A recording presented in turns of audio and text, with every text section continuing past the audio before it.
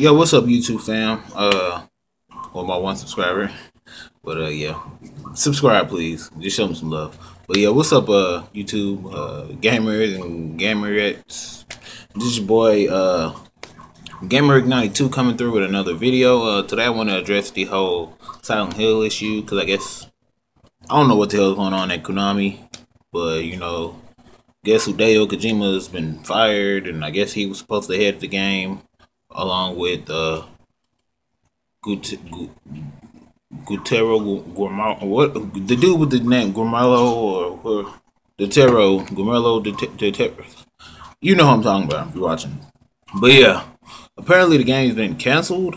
I guess because of Hideo Kojima being fired, so there won't be any Silent Hill, which is a bummer because like I haven't really played a decent horror game in the last probably couple of years, like a long ass time. And I'll admit, like after uh, Sony's Gamescom, whenever I think it was Gamescom, when they announced that the PT would be downloadable free on the PlayStation Store, I went and downloaded it, but I didn't play it till that night.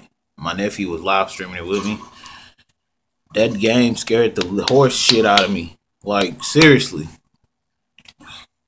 I mean, is that good? And then to find out that greatness known as uh Norman Reedus himself, aka Daryl from Walking Dead, was supposed to be the main character, which really sucks because I was looking forward to seeing how that would have turned out. But yeah, there's also a rumor that Hideo Kojima is uh supposed to go work at Naughty Dog.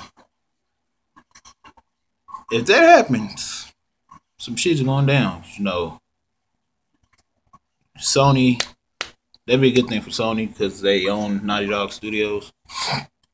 So yeah, but yeah, this is just me. I feel like it's a bad idea. It's horrible that the game's being canceled because of the whole thing with Kojima. Fuck you, Konami. But yeah, let me know what you guys think.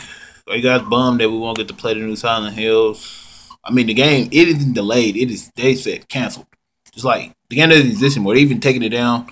The PT demo, well, playable teaser PT from the PlayStation Store on the 29th that I know of. So if you haven't played it, I recommend you go download it right now. Cause I got two, I think a day, 28th to tomorrow. Oh, State of Decay Definitive Edition come out tomorrow. I gotta get that. But yeah, uh, download it now and enjoy playing it tomorrow. Cause I guess after that's gonna get took off. But yeah, this your boy Gamer Rick 92 signing off. Yeah, uh, leave me some comments. Let me know what you guys think, and uh, I'm out. Deuces.